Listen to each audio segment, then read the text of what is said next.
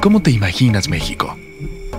Lo he soñado disfrutando lo que tiene, nomás que no se ha podido. Se puede, ¿cómo no se va a poder sobresalir y, y hacer muchísimo?